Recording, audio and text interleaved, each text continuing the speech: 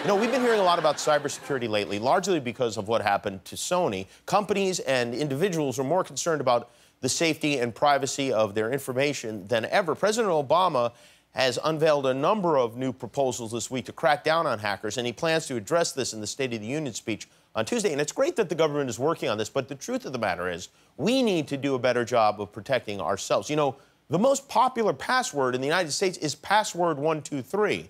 And as long as we're as long as that's the case, we're vulnerable. So today we sent a camera out on a Hollywood Boulevard to help people by asking them to tell us their password. And this is how that went. We're talking about cybersecurity today and how safe people's passwords are. What is one of your online passwords currently? It is my dog's name and the year I graduated from high school. Oh, what kind of dog do you have? I have a Chihuahua Papillon. And what's its name? Jameson. Jameson. And where'd you go to school? Um, I went to school back in Greensburg, Pennsylvania. What school? Uh, Hempfield Area Senior High School. Oh, when did you graduate? In 2009. Oh, great.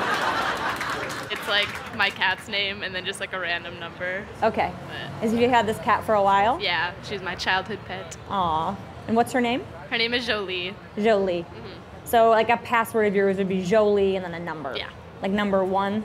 Uh, like my birthday. Oh, when is your birthday? Uh, June 12th.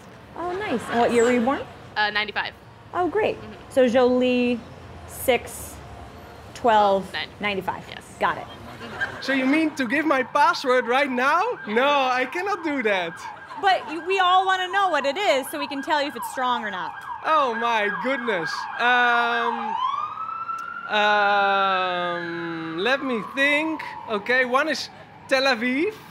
Yeah.